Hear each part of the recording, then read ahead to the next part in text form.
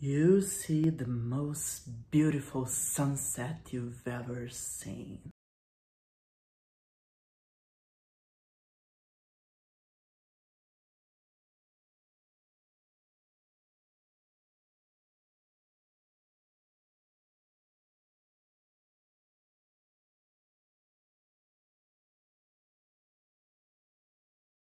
My name is Alice Sin and welcome to Alice's Shelf. Yeah, today is a good day. We'll talk about one of my favorite Brazilian short stories called Come Watch the Sunset by Lygia Fagundes Telles, who just died earlier this year. But she's still brilliant, so whatever. Let's talk about the plot. What happens in Come Watch the Sunset is we have this couple, Ricardo and Rachel, and they used to date. But now Rachel's dating someone new, a new man who has a lot of money. And Ricardo has no money at all, and he's living in this horrible pension and everything. And this already says a lot about our characters because we know that Ricardo has no money and that probably Rachel left him because of that because now she's with a man who does have money. What does that tell us about Rachel? She's a bitch. So Ricardo begs her for a last date and she finally surrenders to it. But it has to be somewhere they will never be found and somewhere her husband-to-be could never find. So he brings her to this place. They pass by a group of kids playing and they reach an abandoned graveyard. And Ricardo says something that I love, which is that the graveyard is so abandoned, even the ghosts have left. There's not a human being or a ghost left there.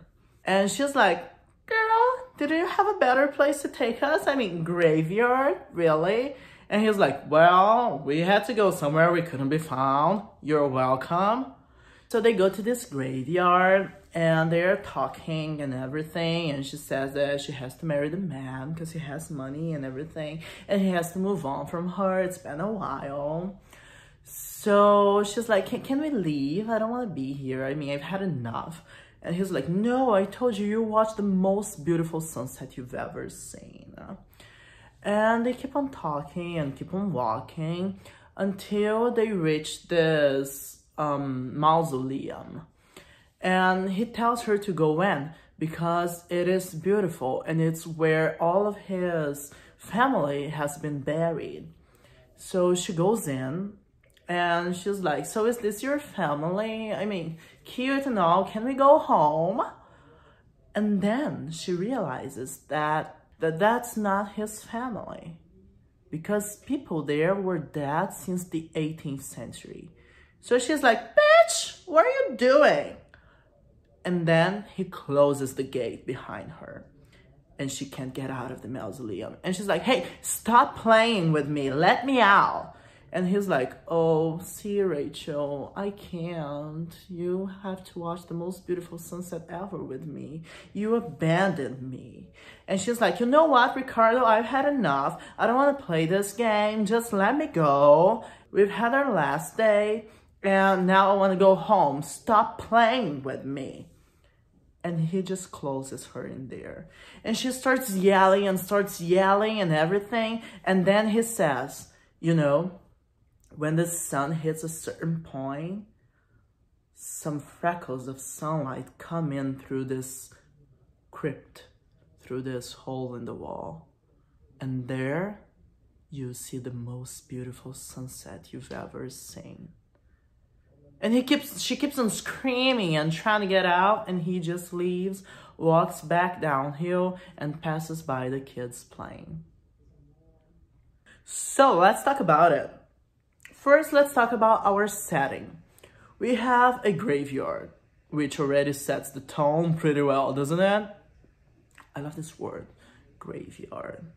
You know, it's like a yard filled with graves. Beautiful. Okay, uh, so we have a graveyard, an abandoned one. So look at how lonely the soul feels because it has been abandoned by all human beings and by all ghosts. And also the choice of the sunset works as a metaphor to Rachel's life because the sunset is the moment the sun is about to die, darkness is here, and we're talking about the end of her life. She's living her sunset.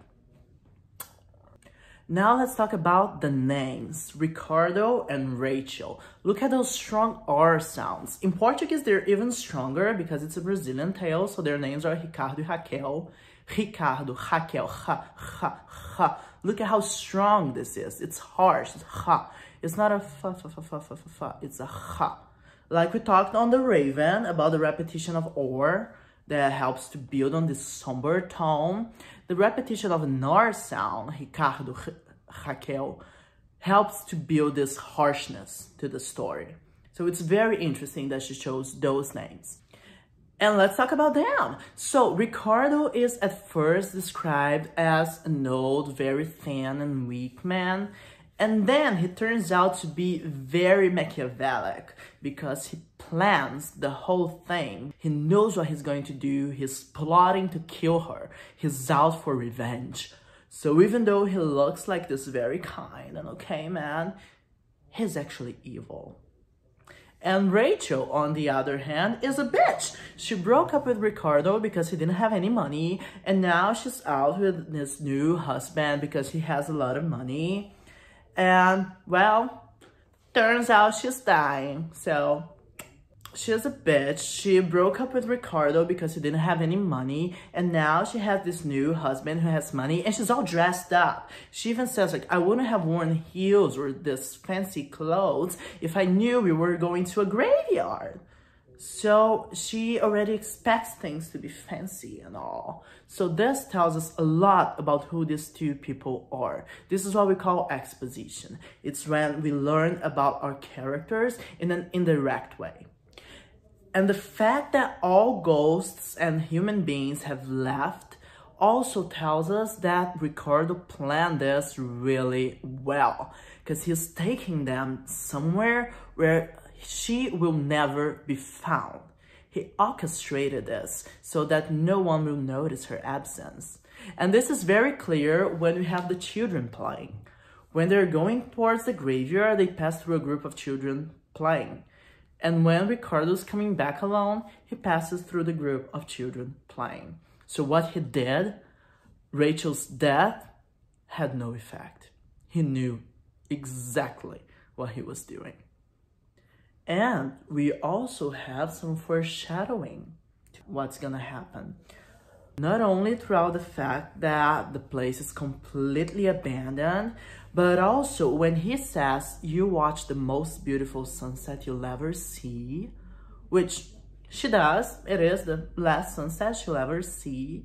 So we have a small foreshadowing happening there, but especially when he says, are you sure no one knows where you are? And she thinks that it's only because no one can find them out, so she makes sure that nobody would know where they are.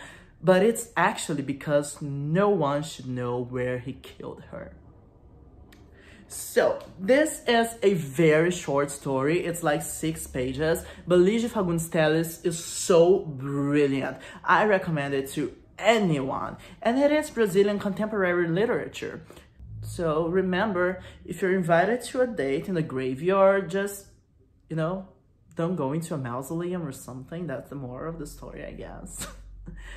well, thank you for watching. Remember to subscribe, like, and share the video with everyone you know. I hope y'all have a great sunset this evening. And remember, life's a sin.